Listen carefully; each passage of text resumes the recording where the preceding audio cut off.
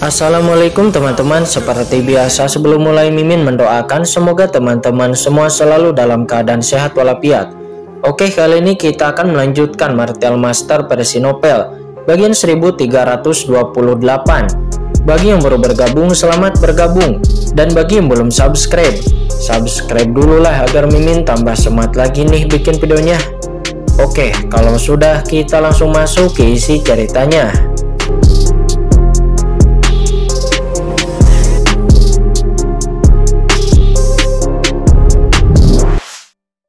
dia sudah merasakannya secara samar sebelumnya. Ya, aku tidak akan menghentikanmu, tetapi akhir-akhir waktu ini kamu akan menjadi milikku dan aku ingin kita memiliki seorang anak. Kata Jiruyu seraya memandang Kincen, matanya menyala. Jiruyu, Kincen memandang Jiruyu, tetapi dia tidak menyangka Jiruyu akan mengatakan hal seperti itu. Namun Jiruyu mengatakan ini bukan tanpa sebab karena Jiruyu ingin memiliki anak dengan Kincen dan juga Jiruyu tahu betul bahwa dirinya tidak bisa ikut pergi bersama Kincen ke dunia iblis. Karena jika dia meminta untuk ikut pergi bersama Kincen ke dunia iblis, maka dirinya hanya akan menjadi beban bagi Kincen. Kincen kemudian membelai wajah Jiruyu dan mendesah dalam hatinya. Bagaimana dia bisa mengecewakan wanita yang begitu perhatian padanya? Tunggu aku, aku pasti akan kembali bersama Chen Sisi. Kata Kincen dia berkata dengan tegas, ini adalah janjinya. Namun tanpa menunggu Kincen selesai berbicara, jari-jari Jiruyu seperti akar bawang bulan sudah langsung menutup mulut Kincen. Berhenti bicara, cium aku, kata Jiruyu. Mendengar itu Kincen tercengang. Dia disambut dengan semangat yang meleleh sempurna. Ledakan kebakaran terjadi seketika. Malam ini Kincen dan Jiruyu menghabiskan waktu bersama kedua belah pihak mengintegrasikan satu sama lain ke dalam tubuh mereka berdua, dari satu sisi ruangan ke sisi lain ruangan. Selama beberapa hari ini, Kincen dan Jiruyu tinggal bersama. Dan selanjutnya beberapa hari kemudian Jiruyu akhirnya membiarkan Kincen pergi dengan enggan. Chen Shao, aku di sini menunggumu kembali. Kata Jiruyu dia berkata dengan tegas. Tunggu aku, kata Kincen. Dia kemudian berbalik dan pergi dari sana. Dia pergi diam-diam dan bahkan banyak orang tidak tahu bahwa Kincen telah pergi. Berdiri di halaman, Jiruyu memperhatikan sosok Kincen yang pergi dari sana. Air mata Jiruyu mengalir. Jatuh cinta dengan pria seperti itu memang membahagiakan, tetapi juga menyakitkan. Pada saat ini, sesosok tiba-tiba muncul di samping Jiruyu. Itu adalah Murong Bingyun. Melihat penampilan basah Jiruyu, Murong Bingyun sepertinya memahami sesuatu Wajah Meromyun jelek dan dia lalu berkata, dia pergi lagi. Jiruyu kemudian melirik ke arah Merongbingyun. Apakah itu ada hubungannya denganmu? Kata Jiruyu. Saudari Ruyue, ketika kamu berada di benua Tianwu, sikapmu terhadapku tidak seperti ini. Kata Merongbingyun cemberut. Karena aku tidak tahu bahwa ibumu adalah pembunuh yang telah membunuh suamiku, kata Jiruyu. Di bawah kendali istana berkabut saat itu, Istana penegakan hukumnya secara alami memiliki hubungan yang baik dengan Merong Bingyun yang merupakan orang suci dari istana berkabut. Ibu macam apa? Jangan menyebut wanita itu. Kata Merong Bingyun wajahnya tiba-tiba menjadi dingin. Jika bukan karena dia, apakah saya akan jatuh ke dalam situasi seperti ini? Kata Murong Bingyun, situasi seperti apa? Jiruyo menghela napas dalam. Suamiku dia tidak menghukummu. Dia telah melakukan kebajikan dan kebenarannya. Dengarkan nasihatku dan jadilah individu yang baik di surga. Kata Jiruyu. Mendengar itu Merongyun sedikit sedih. Beberapa orang diberi label segera setelah mereka lahir. Betapapun kerasnya dirinya mengubahnya, tapi sulit untuk mengubah pandangan dunia.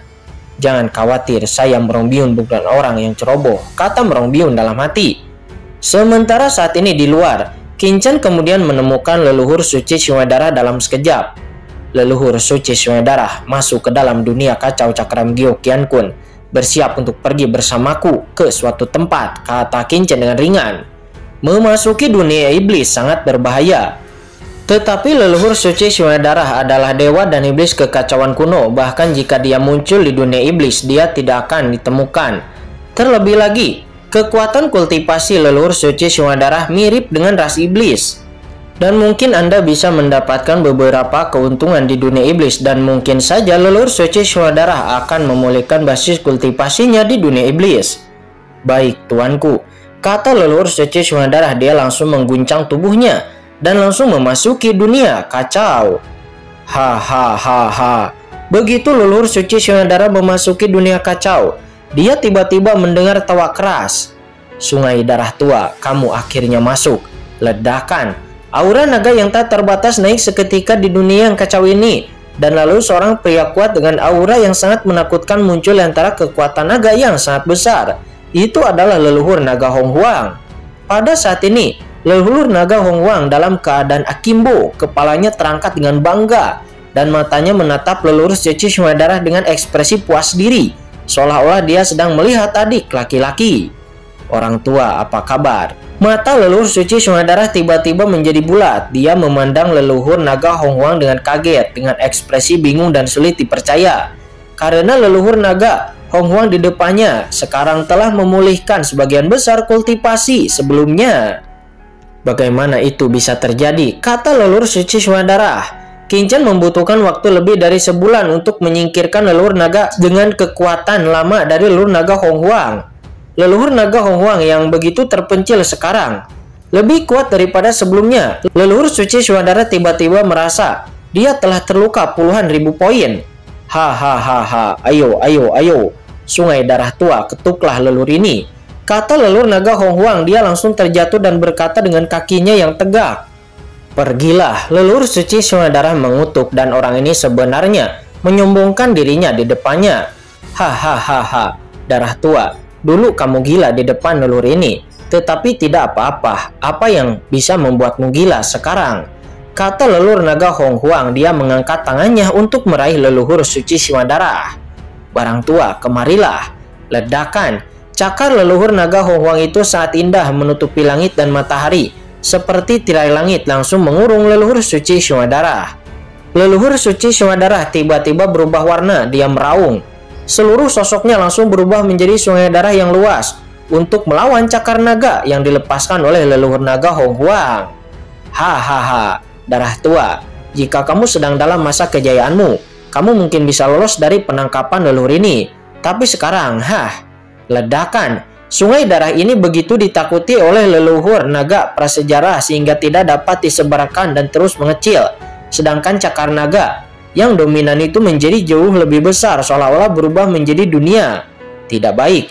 Leluhur suci Swamadara cukup marah. Dia marah di dalam hatinya. Barang naga lama ini benar-benar menyombongkan dirinya. Hah, ingin menangkapku.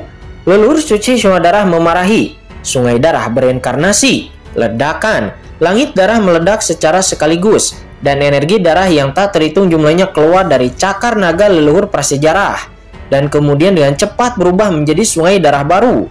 Ha ha ha ha. Leluhur suci darah. Kami juga berteman lama selama bertahun-tahun. Apa yang kami sembunyikan? Nenek moyang ini tidak akan melakukan apa pun kepada Anda. Biarkan saja Anda mengabdi kepada nenek moyang ini. Ha ha ha. Leluhur naga Hongwang tertawa terbahak-bahak dengan kebanggaan. Ledakan. Dia menjulurkan cakar naganya lagi dan terus meraihnya. Bisakah kamu terus bersembunyi? Hari ini aku akan membiarkanmu mengabdi kepada leluhur ini. Hahaha. Mendengar itu leluhur suci Swadara berubah warna. Benda tua ini, dia lalu mengguncang sosoknya dan langsung memasuki galaksi kekacauan di sampingnya. Sial, darah tua, masuk ke sana. Kata leluhur naga Hong Huang, dia berubah warna. Makhluk tua ini bersembunyi terlalu banyak. Dia bahkan bersembunyi di galaksi kekacauan. Hahaha, Pak Tua, lihatlah, aku akan menemukanmu. Kata leluhur naga Hong Huang dia menus dingin. Bagaimana dengan galaksi kekacauan? Karena ini sebenarnya bukan galaksi kekacauan di alam Dewa Piantin. Jika itu adalah galaksi yang kacau dengan gabungan bakat leluhur, suci Darah dan galaksi, maka dia mungkin benar-benar tidak dapat menangkap leluhur suci Darah. Namun galaksi kacau di depannya ini hanyalah bagian dari galaksi kacau yang dikumpulkan Kincen di awal. Sekarang kekuatannya telah pulih setidaknya 50 hingga 60 persen. Takutnya leluhur suci Swadarah tidak akan bisa bersembunyi darinya. Cakar naganya tiba-tiba meraih dan menembak ledakan. Seluruh galaksi yang kacau seperti lautan luas itu menderu dan mengaum, seolah-olah ingin ditangkap oleh leluhur naga. Melihat cakar naga, nenek moyang leluhur naga Hong Huang akan terjun ke galaksi yang kacau balau. Tiba-tiba, ledakan. Di galaksi yang kacau, terik matahari yang tak berujung meledak dan seekor kura-kura besar naik ke langit memancarkan sinar cahaya yang menyilaukan. Itu adalah kura-kura matahari. Dengan keras, dewa kura-kura matahari itu memuntahkan miliaran cahaya keemasan. Dan cakar naga dari leluhur naga Huang dihantamkan. Dan cakar naga dari leluhur naga Huang itu menghantam cakar kura-kura matahari. Kura-kura matahari naik dan melemparkannya ke galaksi kacau di bawah. Di tengahnya, gelombang badai galaksi setinggi ratusan juta kaki dilanda. Kura-kura matahari. Leluhur naga Huang berubah warna dan mengutuk kamu kura-kura tua, kamu juga ingin membantu leluhur darah itu. Kata leluhur naga itu dia mengalami depresi. Kura-kura matahari yang terik ini bukanlah keberadaan biasa. Ia telah menelan bintang-bintang tak terbatas di galaksi yang kacau selama ratusan juta tahun dan juga meleburkan kekuatan galaksi. Bahkan dia pun tidak dapat dengan mudah mengalahkan pertahanan kura-kura ini. Kura-kura matahari dan leluhur suci Sungai bersatu dan jika dirinya ingin menundukkan leluhur suci darah itu tidak mudah. Hei Hong Huang bajingan, buatlah kamu bangga, turun jika kamu memiliki kemampuan, kata leluhur suci darah dia mengutuk. Yah, kalian diam, siapa yang membuat masalah? Jangan salahkan saya karena bersikap tidak sopan. Kata Kincen, di luar, Kincen merasakan gerakan kekerasan di dunia yang kacau. Kincen mengutuk tanpa berkata-kata. Orang-orang ini satu persatu sebenarnya mengkhawatirkan Apakah mereka ingin menghancurkan dunianya yang kacau? Hah, demi Chen kecil. Aku akan membiarkanmu pergi dulu, kata leluhur naga Hong Huang. Dia duduk di tepi galaksi kekacauan. Dia berbaring di sana dengan kaki erlangnya yang dimiringkan. Leluhur ini ingin melihat berapa lama Anda bisa bersembunyi, kata leluhur naga Hong Huang. Dia nampak duduk dengan santai di tepi galaksi kekacauan. Meskipun leluhur naga Hong Huang tidak bisa menundukkan leluhur suci Sumadara. Tetapi dia telah berpura-pura dipaksa di depan seorang teman nama dan itu terasa sangat menyenangkan. Kincen kemudian menghela napas lega ketika dia merasa bahwa leluhur naga Hongwang dan yang lainnya tidak lagi membuat keributan. Kincen yang berada di surga. Sesaat kemudian Kincen muncul di laut pasang surut dan kemudian muncul di tanah terlarang di lautan spiritual. Kincen muncul di sana. Ada banyak cara untuk memasuki dunia iblis. Namun cara yang paling senyap adalah dengan memasuki dunia iblis melalui saluran yang menghubungkan dunia iblis melalui laut pasang surut. Seperti Tumoyu, Ling Yuan, dan Kinmo sebelumnya. Ketika tiba di laut pasang surut, Kincen langsung teringat pada tanah telarang di laut pasang surut. Tempat dia secara tidak sengaja melarikan diri ketika dia dikejar dan ingin dibunuh oleh leluhur iblis dari ras iblis. Tanah terlarang lautan spiritual ini adalah salah satu tempat terlarang paling menakutkan di surga. Orang kuat misterius yang tiba-tiba muncul di tanah terlarang lautan pasang surut menggunakan rantai untuk mengunci leluhur mayat iblis, menyelamatkan Kincen. Napas orang ini dan seni kaisar dewa sembilan bintang yang dipraktikkan oleh Kincen ada juga hubungan yang tidak bisa dijelaskan. Hal ini pun membuat Kincen mau tidak mau keluar dari tanah terlarang setelah memasuki laut pasang surut. Pada saat ini, Kincen berdiri dengan tenang di lautan spiritual. Kincen melihat ke dalam lautan spiritual yang seperti jurang besar, membuat jantungnya berdebar-debar. Di sinilah letak area telarang. Rumor mengatakan bahwa di zaman kuno, banyak kekuatan tertinggi umat manusia mengirim yang ahli yang mulia mereka ke tanah telarang ini. Tetapi pada akhirnya tidak ada yang kembali. Ini adalah tempat paling misterius di surga, bahkan lebih misterius dari makam pedang di Papilun Pedang Tongtian. Kesadaran ilahinya menyebar, dan Kincen langsung merasakan ada aura samar yang tertidur di laut pasang surut di luar tanah terlarang lautan spiritual. Ini adalah ahli yang mulia dari banyak kekuatan tertinggi dalam umat manusia. Gumam Kincen dia sedikit mengernyit. Saat itu orang-orang kuat misterius muncul di tanah terlarang di lautan spiritual dan juga menarik perhatian banyak kekuatan tertinggi umat manusia. Oleh karena itu, segera setelah alam surga terbuka, ada kekuatan yang mengirim orang-orang kuat mereka untuk berjaga-jaga. Meskipun mereka tidak berani bergegas ke tanah terlarang di lautan spiritual, tidak apa-apa untuk tetap berada di sana. penguasa, Tianjun, dan yang lainnya. Semuanya sisanya adalah ahli yang melihat bumi. Gumam Kincen, betapa kuatnya kesadaran nilai Kincen. Kincen langsung merasakan kekuatan orang-orang kuat ini. Kincen hari ini dengan basis kultivasi mencapai langit. Jika dia ingin melarikan diri dari deteksi para ahli yang mulia Tianjun dan yang mulia bumi ini, itu sangat mudah. Napas tersembunyi di langit menyatu dengan napas surga. Kincen langsung datang ke tempat ahli teratas misterius muncul saat itu. Siapakah pria kuat misterius itu? Gumam Kincen dia berbisik di dalam hatinya, dia sedikit penasaran. Boom, Kincen langsung mendesak seni kaisar Dewa Sembilan Bintang dan totem kaisar ilahi tiba-tiba muncul di tubuhnya dan kekuatan totem tak terlihat menghantuinya. Diam-diam tenggelam ke tanah telarang di lautan virtual. Kincen saat ini bahkan tidak takut pada ahli supreme, jadi dia secara alami berani dan berkomunikasi secara langsung. Dia ingin mengetahui identitas dan kekuatan ahli teratas misterius di tanah telarang lautan virtual ini. Namun saat kekuatan Kincen memasuki kawasan telarang lautan virtual ini, tiba-tiba napas yang membuat jantung Kincen berdebar-debar. Di sekujur tubuhnya tiba-tiba keluar dari kawasan telarang lautan virtual. Ledakan. Pada saat ini, seluruh tubuh Kincen terasa dingin dan seluruh tubuhnya tampak membeku Kekuatan menakutkan yang tak ada habisnya sepertinya mampu menelannya secara langsung menyelimutinya dan membuat Kincen tercengang. Pada saat ini Kincen sepertinya sedang melihat ke arah jurang yang tak berujung dan jiwanya terkejut. Bulu kuduknya merinding langsung muncul di tubuh Kincen dan seluruh tubuhnya tegak seolah-olah dia terkejut. Apa? Napas ini? Di dunia kacau, leluhur naga Hongwang dan leluhur suci Sumadara juga merasakan napas ini satu demi satu dan lalu melihat ke dalam area terlarang dari kampan dengan ekspresi terkejut. Sesaat kemudian saya kemudian melihat ke dalam lautan virtual samar-samar ada sesuatu yang muncul. Ini sesuatu itu adalah suatu sosok.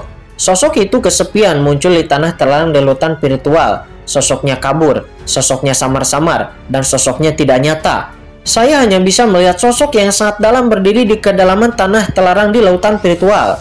Ia hanya berdiri di sana, dan napas yang keluar mengejutkan langit abadi. Itu seperti lubang hitam tak berujung, menatap Kincen, membuatnya sulit untuk bergerak. Yang lebih mengejutkan lagi adalah sosok ini, kecuali Kincen, ahli teratas tingkat tertinggi dari pasukan sekitar yang tinggal di sini tidak ada yang bisa melihatnya. Ledakan.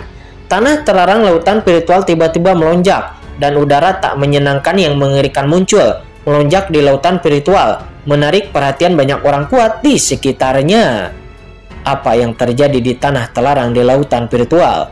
Banyak orang kuat langsung bergoyang dan datang ke sini satu demi satu, lalu melihat kedalaman tanah telarang di lautan virtual. Dan kulit kepala Kincen yang merasakannya cukup mati rasa. Karena Kincen dari dekat, ini Kincen merasakan napas ini terlalu kuat. Begitu kuat sehingga Kincen bahkan tidak bisa bergerak. Ini pun seketika mengejutkannya. Bagaimana ini mungkin? Gumam Kincen. Dengan basis kultivasinya saat ini, tidak sedikit orang kuat yang pernah melihatnya. Dewa leluhur, leluhur naga sejati, Xiaoyao Supreme, leluhur pedang. Siapa yang bukan ahli terkuat di alam semesta, yang merupakan ahli terkenal di dunia? Tetapi pada saat ini, Kincen merasa bahwa sosok di depannya bahkan lebih menakutkan dan lebih menyeramkan daripada semua ahli teratas yang pernah dilihat Kincen seperti Xiaoyao Supreme dan yang lainnya. Hati Kincen pun ketakutan dan asal-usul Tianjun yang menakjubkan di tubuhnya berjalan dengan liar, mencoba melepaskan diri dari pengekangan sosok ini. Tetapi tidak berhasil. Di tanah telarang lautan virtual, materi hitam yang tidak diketahui itu tampaknya mulai meresap. Tiba-tiba itu beriak keluar, langsung menutupi kekosongan tempat Kincen berada sekarang. Apa itu? Sepertinya ada sosok. Siapa? Siapa yang telah menyebabkan penglihatan di tanah terlarang di lautan virtual. Orang-orang kuat dari banyak kekuatan tertinggi umat manusia. Semuanya terasa menakjubkan, mereka semua melihat dari kejauhan. Mereka tampak takjub dan menatap satu demi satu. Namun di area itu mereka hanya melihat materi hitam dan tidak dapat melihat petunjuk apa pun sama sekali. Dalam jat hitam yang tidak diketahui itu, saat ini Kincen terbungkus dalam jat tak kasat mata Jantungnya berdebar-debar, seolah-olah Kincen merasakan akan datangnya kematian. Dewa Kaisar Totem, ledakan.